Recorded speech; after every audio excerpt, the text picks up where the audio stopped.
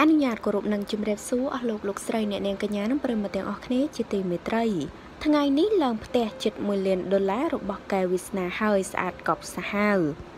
រាជធានីភ្នំពេញប្រិមិត្តដែលនិយមតាមដានពីជីវិតក្រៅឆាករបស់តារាចម្រៀងប្រុសសំឡេងមានទឹកដមលោកកែវិស្នាច្បាស់ជាបានដឹងរួចហើយថារូបលោកនិងគ្រួសារមានជីវភាពកកកកម្រិតណានោះ គឺមានទាំងឡានទំនើបផ្ទះវិឡាធំស្កឹមស្កៃ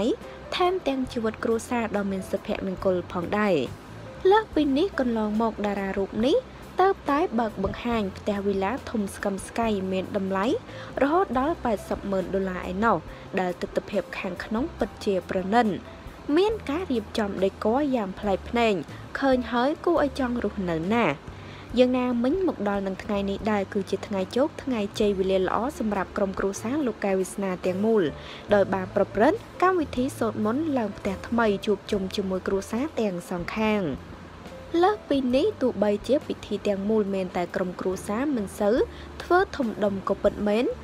តែបើមើលតាមរយៈរូបថតរបស់ភរិយាកែវិស្នាបានបង្ហោះក្នុង Facebook ពិតជាពោពេញទៅដោយសុខសុភមង្គល ដោយសមាជិកនីមួយៗប្រកបដោយស្នាមញញឹមពេញចិត្តរីករាយខ្លាំងណាស់ចាថ្ងៃនេះគឺជាថ្ងៃឡើងវិឡាថ្មី